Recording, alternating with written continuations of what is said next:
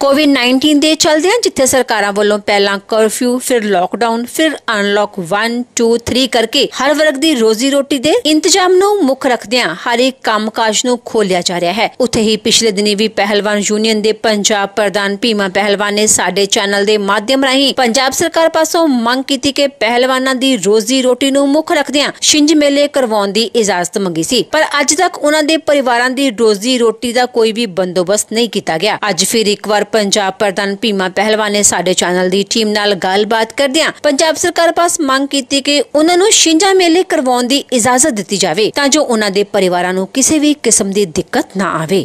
ਜਿਸ ਤਰ੍ਹਾਂ ਤੁਹਾਨੂੰ ਪਤਾ ਹੀ ਹੈ ਦਰਸ਼ਕੋ ਕਿ ਕਰੋਨਾ ਮਹਾਮਾਰੀ ਦੇ ਵਿੱਚ ਮਾਰਚ ਦੇ ਮਹੀਨੇ ਤੋਂ ਲਾਕਡਾਊਨ ਹੋਇਆ। ਉਸ ਦੇ ਵਿੱਚ ਜਿਹੜੇ ਮਿੱਟੀ ਤੇ ਘੁਲਣ ਵਾਲੇ ਪਹਿਲਵਾਨ, ਉਹਨਾਂ ਦਾ ਜਿਹੜਾ ਆ ਸਾਰਾ ਟੂਰਨਾਮੈਂਟ ਵਗੈਰਾ ਬੰਦ ਕਰ ਦਿੱਤੇ ਗਏ। ਕਿਉਂਕਿ ਸੋਸ਼ਲ ਡਿਸਟੈਂਸਿੰਗ ਰੱਖਣ ਦੇ ਕ- ਕਾਨੂੰਨ ਦੀ ਪਾਲਣਾ ਕਰਦੇ ਹੋਏ ਟੂਰਨਾਮੈਂਟ ਸਰਕਾਰ ਨੇ ਬੰਦ ਕਰ ਦਿੱਤੇ। ਲੇਕਿਨ ਮਾ- ਮਾਝੇ ਦੇ ਵਿੱਚ ਕੁਝ ਟੂਰਨਾਮੈਂਟ ਹੋ ਵੀ ਰਹੇ ਆ, ਲੇਕਿਨ ਮਾਲਵੇ ਤੇ ਦੁਆਬੇ ਦੇ ਵਿੱਚ ਇਹ ਟੂਰਨਾਮੈਂਟ ਬੰਦ ਕੀਤੇ ਹੋਏ ਹਨ। ਸਾਡੇ ਜੋ ਭਲਵਾਨ ਜੀ ਹਨ, ਪੰਜਾਬ ਦੇ ਦਿਹਾਤੀ ਕੁਸ਼ਤੀ ਦੇ ਪ੍ਰਧਾਨ, ਉਹ ਉਹਨਾਂ ਨੇ ਮੰਗ ਵੀ ਰੱਖੀ ਸੀ ਡੀਸੀ ਸਾਹਿਬ ਕੋਲੋਂ, ਲੇਕਿਨ ਉਹਨਾਂ ਨੂੰ ਮਨਜ਼ੂਰੀ ਨਹੀਂ ਦਿੱਤੀ ਗਈ। 85% ਭਲਵਾਨ ਐਸੇ ਹਨ ਜੋ ਮਿੱਟੀ ਦੇ ਵਿੱਚ ਘੁਲਦੇ ਹਨ। 15% ਐਸੇ ਹਨ ਜਿਹੜੇ ਮੈਟ ਤੇ ਘੁਲਦੇ ਹਨ। ਤੇ 85% ਭਲਵਾਨਾਂ ਦਾ ਜਿਹੜਾ ਕਾਰੋਬਾਰ ਆ, ਉਹ ਬਿਲਕੁਲ ਬੰਦ ਹੋ ਚੁੱਕਿਆ। ਰੋਟੀ ਪਾਣੀ ਤੋਂ ਆਵਾਜ਼ਾਰ ਹੋਏ ਹੋਏ ਹਨ। ਸੋ ਅਸੀਂ ਅੱਜ ਪੰਜਾਬ ਦੇ ਪ੍ਰਧਾਨ ਜੋ ਪੀਮਾ ਪਹਿਲਵਾਨ ਜੀ ਸ਼ਾਹਕੋਟ ਤੋਂ ਆਏ ਹਾਂ, ਉਹਨਾਂ ਕੋ ਚਲੋ ਉਹਨਾਂ ਨਾਲ ਗੱਲਬਾਤ ਕਰਦੇ ਹਾਂ। ਕਿ ਉਹਨਾਂ ਦੀ ਕੀ ਮੰਗ ਹੈ? ਮੇਰਾ ਇਹੋ ਹੀ ਕਹਿਣਾ, ਮੈਂ ਪਿੱਛੇ ਜੇ ਵੀ ਆਪਣੇ ਪੰਜਾਬ ਨਰਬਰ ਨਿਊਜ਼ ਤੋਂ ਇਹ ਮੰਗ ਕੀਤੀ ਸੀਗੀ ਸਰਕਾਰ ਤੋਂ ਕਿ ਜਿਹੜਾ ਇਹ ਕਰੋਨਾ ਦਾ ਦੌਰ ਆ, ਉਹਦੇ ਵਿੱਚ ਸਾਡੀਆਂ ਜਿਹੜੀਆਂ ਛਿੰਝਾਂ ਵਾਂ ਜਾਂ ਟੂਰਨਾਮੈਂਟ ਆ, ਉਹ ਸਾਰੇ ਤਕਰੀਬਨ ਬੰਦ ਹੋ ਗਏ। ਤੇ ਜਿਹੜੇ ਮਿੱਟੀ ਦੇ ਉੱਤੇ ਸਾਡੇ, ਮਿੱਟੀ 'ਚ ਛਿੰਝਾਂ ਹੁੰਦੀਆਂ ਆ, ਮਿੱਟੀ ਦੇ ਵਿੱਚ ਕੁਸ਼ਤੀ ਲੜਨ ਦੇ ਨਾਲ ਸਾਡੇ ਜਿਹੜੇ ਨਾ ਬਹੁਤ ਜ਼ਿਆਦਾ ਰੋਗ ਉਹ ਦੂਰ ਹੁੰਦੇ ਆ, ਨਾ ਕਿ ਰੋਗ ਲੱਗਦੇ ਆ। ਇਹ ਤਾਂ ਡਾਕਟਰਾਂ ਨੂੰ ਵੀ ਪਤਾ, ਭਲਵਾਨਾਂ ਨੂੰ ਵੀ ਪਤਾ, ਸਾਰੀ ਦੁਨੀਆ ਨੂੰ ਵੀ ਪਤਾ।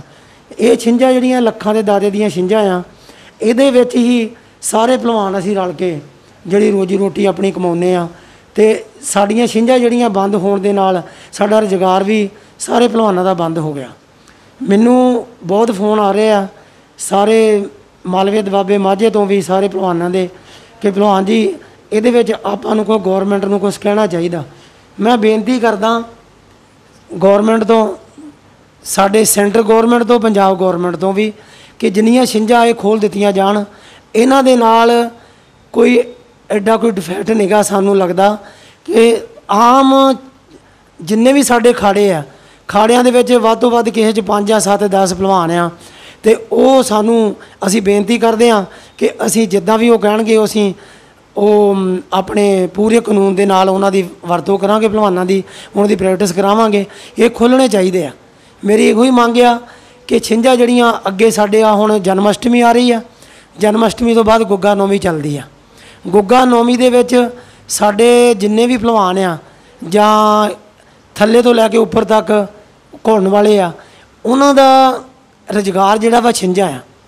ਛਿੰਝਾਂ ਦੇ ਵਿੱਚ ਹਰ ਭਲਵਾਨ ਆਪਣਾ ਆਪਣਾ ਕੋਈ ਕੋਈ ਥੋੜੇ ਪੈਸੇ ਲੈਂਦਾ, ਕੋਈ ਜ਼ਿਆਦਾ ਪੈਸੇ ਲੈਂਦਾ, ਤੇ ਉਹਨਾਂ ਦਾ ਰੁਜ਼ਗਾਰ ਚੱਲਦਾ, ਆਪਣੇ ਬੱਚੇ ਪਾਲਦੇ ਆ।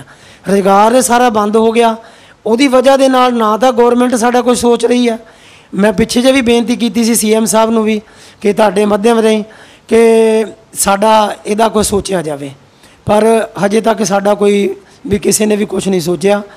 ਤੇ ਬੇਨਤੀ ਕਰਦੇ ਆ ਕਿ ਸਾਰੇ ਭਲਵਾਨਾਂ ਨੂੰ ਆਗਿਆ ਦਿੱਤੀ ਜਾਵੇ ਖਾੜੇ ਖੋਲਣ ਦੀ ਤੇ ਛਿੰਝਾਂ ਦੇ ਵਿੱਚ ਆਪਣੇ ਜਾਣ ਛਿੰਝਾਂ ਜਿੰਨੇ ਵੀ ਦਿਹਾਤੀ ਲੋਕ ਪਿੰਡਾਂ ਦੇ ਵਿੱਚ ਪੰਚਾਇਤਾਂ ਛਿੰਝਾਂ ਕਰਾਉਂਦੀਆਂ, ਉਹਨਾਂ ਨੂੰ ਆਗਿਆ ਦਿੱਤੀ ਜਾਵੇ ਕਿ ਉਹ ਆਪਣੇ ਸੋਸ਼ਲ ਡਿਸਟੈਂਸਿੰਗ ਦੇ ਨਾਲ ਆਪਣੀ ਜਿਹੜੀ ਆ ਛਿੰਝਾਂ ਉਹ ਕਰਾਉਣ ਤੇ ਉਸੇ ਤਰ੍ਹਾਂ ਹੀ ਭਲਵਾਨਾਂ ਨੂੰ ਸੱਦ ਕੇ ਤੋਂ ਲੱਖਾਂ ਦੇ ਦਾਤੇ ਦਾ ਜਿਹੜਾ ਦਿਨ ਮਨਾਇਆ ਜਾਵੇ।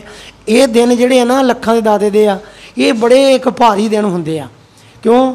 ਕਿ ਗੁੱਗਾ ਨੌਵੀਂ ਦੇ ਉੱਤੇ ਗੁੱਗਾ ਜਾਰ ਪੀਰ ਦਾ ਜਿਹੜੀਆਂ ਇੱਕ ਛਿੰਝਾਂ ਕਰਾਉਂਦੇ ਆ, ਉਹ ਬੰਦ ਹੋ ਜਾਣ ਤੇ ਪਿੰਡ ਦੇ ਉੱਤੇ ਵੀ ਭਾਰੀ ਪੈ ਜਾਂਦੀਆਂ। ਇਹ ਸਾਨੂੰ ਦੇਖਣ 'ਚ ਵੀ ਆਇਆ, ਅਸੀਂ ਸੁਣਿਆ ਵੀ ਆ।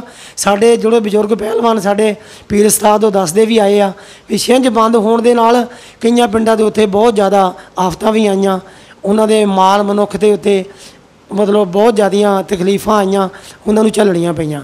ਬੇਨਤੀ ਕਰਦਾ ਕਿ ਇਹ ਜਿਹੜੀਆਂ ਛਿੰਝਾਂ ਵਾਂ ਇਹ ਖੋਲੀਆਂ ਜਾਣ, ਜਿਨ੍ਹਾਂ ਦੇ ਨਾਲ ਸਾਡੇ ਪਹਿਲਵਾਨਾਂ ਦਾ ਰੁਜ਼ਗਾਰ ਚੱਲਦਾ ਰਹੇ ਤੇ ਇਸ ਖਾੜਿਆਂ ਦੇ ਵਿੱਚ ਹਰ ਪਹਿਲਵਾਨ ਆਪਣੇ ਉਸਤਾਦਾਂ ਦੇ ਕੋਲ, ਕੋਚਾਂ ਦੇ ਕੋਲ ਜਾ ਕੇ ਪ੍ਰੈਕਟਿਸ ਕਰਨ। ਪ੍ਰੈਕਟਿਸ ਕਰਨ ਦੇ ਨਾਲ ਸਾਡਾ ਸਰੀਰ ਬਣਦਾ ਆ। ਉਹਦੇ ਨਾਲ ਜਿੰਨਾ ਵੀ ਬਿਮਾਰੀ ਉਹ ਦੂਰ ਹੁੰਦੀ ਆ। ਘਰ ਬੈਠਣ ਦੇ ਨਾਲ ਬਿਮਾਰੀ ਜਿਹੜੀ ਆ, ਉਹ ਹਰ ਇੱਕ ਪਲੇਅਰ ਨੂੰ, ਹਰ ਇੱਕ ਇਨਸਾਨ ਨੂੰ ਲੱਗਦੀ ਆ। ਤੇ ਇਹਦੇ ਨਾਲ ਸਾਡੇ ਜਿੰਨੇ ਵੀ ਮਤਲਬ ਭਲਵਾਨ ਆ, ਤੰਦਰੁਸਤ ਰਹਿਣਗੇ। ਤੇ ਅਸੀਂ ਜਿੱਦਾਂ ਵੀ ਗਵਰਨਮੈਂਟ ਸਾਨੂੰ ਕਹੂਗੀ ਅਸੀਂ ਉਹਨਾਂ ਦੇ ਨਾਲ ਰਲ ਕੇ ਚੱਲਾਂਗੇ। ਬਾਕੀ ਮੈਂ ਧੰਨਵਾਦ ਦੁਬਾਰਾ ਫੇਰ ਕਰਦਾ ਕਿ ਇਹ ਛਿੰਝਾਂ ਜਿਹੜੀਆਂ ਖੁੱਲਣੀਆਂ ਚਾਹੀਦੀਆਂ ਤੇ ਇਹਨਾਂ ਦੇ ਵਿੱਚ ਸਾਡਾ ਰੁਜ਼ਗਾਰ ਜਿਹੜਾ ਚੱਲਦਾ ਰਵੇ। ਧੰਨਵਾਦ। ਭਲਵਾਨ ਜੀ ਜਿਹੜੀ ਤੁਸੀਂ ਪਹਿਲਾਂ ਇੱਕ ਵਾਰੀ ਲਿਖਤੀ ਰੂਪ ਚ ਜਾਂ ਤੁਸੀਂ ਸੀਐਮ ਸਾਹਿਬ ਕੋਲੋਂ ਜਾਂ ਡੀਸੀ ਸਾਹਿਬ ਕੋਲੋਂ ਮੰਗ ਕੀਤੀ ਸੀ ਕੀ ਉਹਨਾਂ ਦਾ ਜਵਾਬ ਤੁਹਾਨੂੰ ਮਿਲਿਆ ਸੀ? ਨਹੀਂ ਮੈਂ ਲਿਖਤੀ ਰੂਪ ਚ ਨਹੀਂ ਉਹਨਾਂ ਨੂੰ ਦਿੱਤਾ। ਤੇ ਮੈਂ ਆਪਣੇ ਚੈਨਲ ਰਾਹੀਂ ਉਹਨਾਂ ਨੂੰ ਮਤਲਬ ਇਹ ਮਤਲਬ ਮੰਗ ਕੀਤੀ ਸੀ ਕਿ ਸਾਡਾ ਜਿਹੜਾ ਇਹ ਰੁਜ਼ਗਾਰ ਆ, ਇਹ ਬੰਦ ਹੋਇਆ, ਇਹਨੂੰ ਚਲਾਇਆ ਜਾਵੇ। ਤੇ ਜਿੰਨੇ ਵੀ ਖਾੜੇ ਆ, ਸਾਰੇ ਲੋਕਾਂ ਦੀ ਮਦਦ ਕੀਤੀ ਆ, ਘਰ ਘਰ ਜਾ ਕੇ ਮਦਦ ਕੀਤੀ ਆ। ਤੇ ਇੱਕ ਸਾਡੇ ਖਾੜਿਆਂ ਦੇ ਵਿੱਚ ਕਿਸੇ ਦੀ ਮਦਦ ਨਹੀਂ ਹੋਈ। ਉਹ ਮਦਦ ਸਾਡੀ ਖਾੜਿਆਂ ਦੇ ਵਿੱਚ ਸਾਡੇ ਉਸਤਾਦਾਂ ਦੀ ਕੋ ਸਾਹਿਬਾਨਾਂ ਦੀ ਹੋਣੀ ਚਾਹੀਦੀ ਆ ਕਿ ਉਹ ਆਪਣੇ ਬੱਚਿਆਂ ਦੇ ਦੇਖਭਾਲ ਦੇ ਨਾਲ ਖਾੜੇ ਚਲਾ ਸਕਣ। ਕਿਉਂਕਿ ਬਿਜਲੀ ਦੇ ਬਿੱਲ ਮੁਫਤ ਦੇਣੇ ਪੈਂਦੇ ਆ। ਹਰ ਉਸਤਾਦ ਨੂੰ ਆਪਣੇ ਬੱਚਿਆਂ ਵੱਲ ਵੀ ਦੇਖਣਾ ਪੈਂਦਾ, ਉਹਨੂੰ ਜਾਣਾ ਵੀ ਪੈਂਦਾ। ਉਹਨਾਂ ਦਾ ਰੁਜ਼ਗਾਰ ਬੰਦ ਹੋਣ ਦੇ ਨਾਲ ਉਹ ਸਾਰਾ ਹੀ ਕੰਮ ਠੱਪ ਹੋ ਗਿਆ। ਕੰਮ ਠੱਪ ਹੋਣ ਦੇ ਨਾਲ ਉਹ ਆਪਣੇ ਘਰੀ ਘਰਾਂ 'ਚ ਬੈਠ ਗਏ। ਤੇ ਬੇਨਤੀ ਇਹੀ ਕਰਦਾ ਕਿ ਜਿੱਦਾਂ ਮੈਂ ਪਹਿਲਾਂ ਇੰਟਰਵਿਊ ਦੇ ਵਿੱਚ ਇਹ ਗੱਲ ਦਿੱਤੀ ਸੀ ਕਿ ਸਾਡਾ ਸੋਚਿਆ ਜਾਵੇ, ਇਸੇ ਤਰ੍ਹਾਂ ਮੈਂ ਹੁਣ ਮੰਗ ਕਰ ਰਿਹਾ ਕਿ ਸਾਡਾ ਜਿਹੜਾ ਵਾ ਉਹ ਰੁਜ਼ਗਾਰ ਖੋਲ੍ਹਿਆ ਜਾਵੇ। ਪਰ ਹੋਰ ਅਸੀਂ ਕੋਈ ਗਵਰਨਮੈਂਟ ਤੋਂ ਮੰਗ ਨਹੀਂ ਕਰਦੇ। ਫਿਰ ਛਿੰਝਾਂ ਜਿਹੜੀਆਂ ਚਾਲੂ ਰਹਿਣੀਆਂ ਚਾਹੀਦੀਆਂ। ਧੰਨਵਾਦ। ਇਹ ਸਨ ਸਾਡੇ ਭੀਮਾ ਪਹਿਲਵਾਨ ਜੀ ਸ਼ਾਹਕੋਟ ਤੋਂ, ਜੋ ਪੰਜਾਬ ਦੇ ਦਿਹਾਤੀ ਅਖਾੜਾ ਦੇ ਪ੍ਰਧਾਨ ਹਨ। ਇਹਨਾਂ ਨੇ ਮੰਗ ਕੀਤੀ ਹੈ ਸਰਕਾਰ ਕੋਲੋਂ, ਕਿਉਂਕਿ ਜਿਸ ਤਰ੍ਹਾਂ ਮਾਝੇ 'ਚ ਟੂਰਨਾਮੈਂਟ ਚੱਲ ਰਹੇ ਨੇ, ਦੁਆਬੇ ਤੇ ਮਾਲਵੇ ਵਿੱਚ ਵੀ ਟੂਰਨਾਮੈਂਟ ਖੋਲੇ ਜਾਣ, ਕਰਵਾਏ ਜਾਣ, ਜੋ ਇਹਨਾਂ ਦਾ ਵੀ ਰੁਜ਼ਗਾਰ ਚੱਲ ਸਕੇ। ਕੈਮਰਾਮੈਨ ਮੋਂਟੀ ਅਰੋੜਾ ਦੇ ਨਾਲ ਬੰਟੀ ਅਰੋੜਾ, ਪੰਜਾਬ ਦਰਪਣ ਨਿਊਜ਼। ਪੰਜਾਬ ਦਰਪਣ ਨਿਊਜ਼ ਲਈ ਸ਼ਾਹਕੋਟ ਤੋਂ ਬੰਟੀ ਅਰੋੜਾ ਅਤੇ ਮੌਂਟੀ ਅਰੋੜਾ ਦੀ ਵਿਸ਼ੇਸ਼ ਰਿਪੋਰਟ।